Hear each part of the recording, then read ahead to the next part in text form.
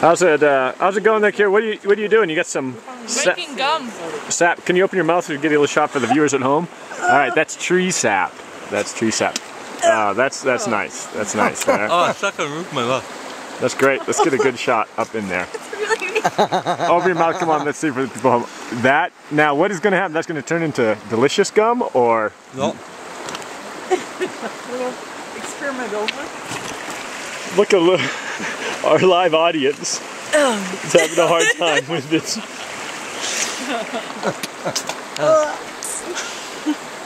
I've been oh. here.